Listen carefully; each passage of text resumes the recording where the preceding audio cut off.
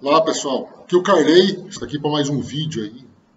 Falar um pouco sobre transporte rodoviário de cargas. Né? Quem não for inscrito no canal, se inscreva aí.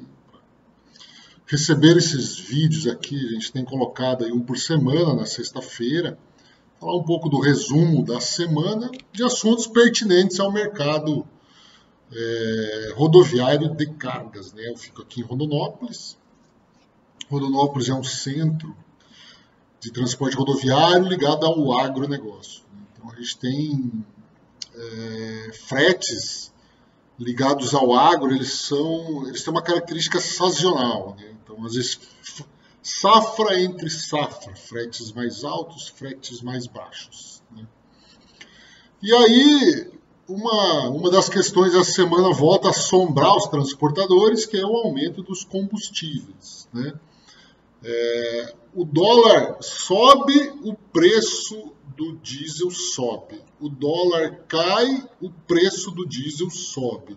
O dólar volta a subir ao patamar que estava antes, o preço do diesel sobe. Não há nenhum tipo de explicação racional, há uma necessidade de quebra do monopólio estatal sobre isso. Não tem como ser a Petrobras a gestora disso, porque ela tem regras né, que são para beneficiar os seus acionistas. O governo federal é o maior acionista da, da Petrobras, sim, né, mas esse dinheiro nunca vai para a população. Esse dinheiro aí vai para os acionistas e fazer outras coisas. Então, há necessidade de se quebrar o monopólio da Petrobras para resolver, ou pelo menos para você amenizar esse problema dos combustíveis e gás no, no Brasil. É, muita gente me perguntando sobre a questão do dia 7, greve é, de caminhoneiros, né? E se vai parar mesmo, se vai parar tudo, se vai trancar as estradas, né? As entidades, elas estão muito cautelosas em declarar algum apoio, porque as pautas, elas são muito diversas. Né? Então, é, as entidades que representam aí a, os diversos segmentos do transporte rodoviário, elas também têm pautas diferentes umas das outras. Né? E aí não há um consenso, nunca houve, nunca haverá, ainda mais num mercado tão grande desse. É... Então, o que, que acontece? As entidades estão é... vendo o que que o que está acontecendo, né? Há um enorme desejo e vontade das empresas em parar suas atividades. Mas isso também não é uma questão tão simples. Ninguém quer, das entidades e das empresas privadas, ninguém quer atrapalhar o país. Muito menos atrapalhar ah, o crescimento do país agora. Né? Então, greve de trancar rodovia por parte de caminhão eu acho quase impossível. A não ser que alguém ali é, mais emocional, puxa um caminhão para cima de uma pista, de uma ponte, é uma questão assim, né? Mas é muito localizado. Não há nenhuma nenhuma conversa no sentido de se trancar nenhuma rodovia. Né? Então, é, e sim, como eu falei no vídeo da semana passada, de você ter alguma algum apoio à, à greve na à paralisação do dia 7 de setembro, na questão de pegar os seus caminhões, pegar o seu negócio e parar três dias. Né? Isso é o que se tem conversado. Né?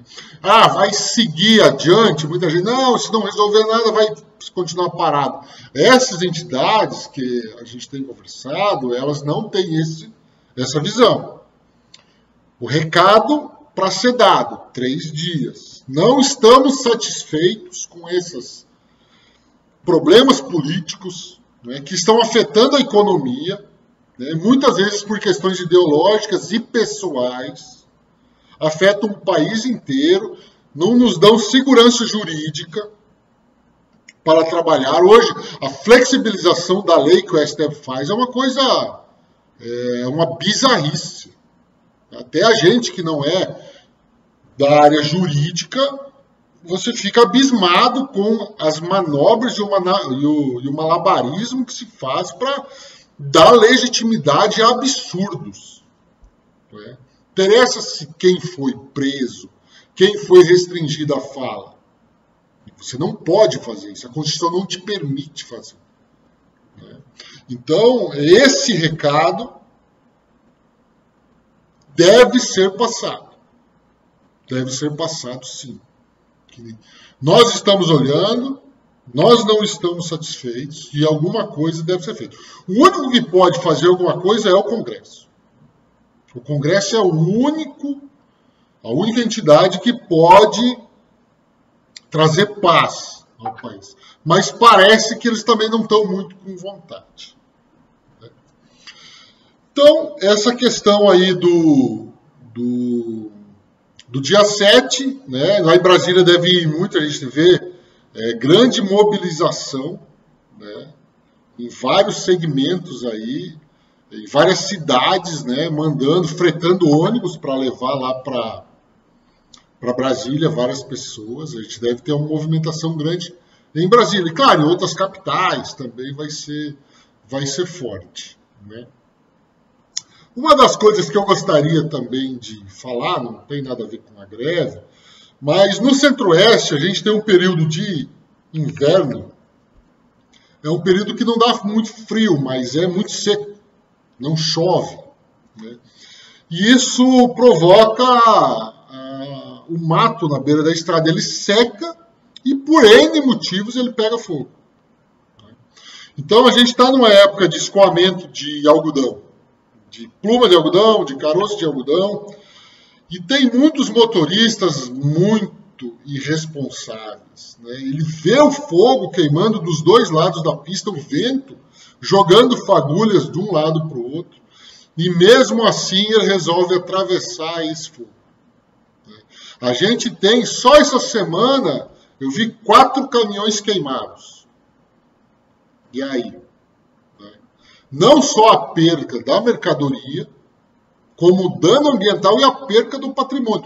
E muito, nenhum teve, ainda bem, né, vítimas, mas também pode ter vítimas. Então, se você tem contato com o motorista, oriente ele, né? O pessoal passando com tanque de combustível, com carga de pluma, com carga de caroço, que são altamente inflamáveis, facilmente inflamáveis. Né? Então, conscientize esse pessoal para que tome um pouco mais de cuidado. Né? Porque às vezes a pressa de passar e vai adiantar sua viagem em cinco minutos e você vai perder, além da carga, o caminhão. Tá ok? Um abraço a todos e até o próximo vídeo.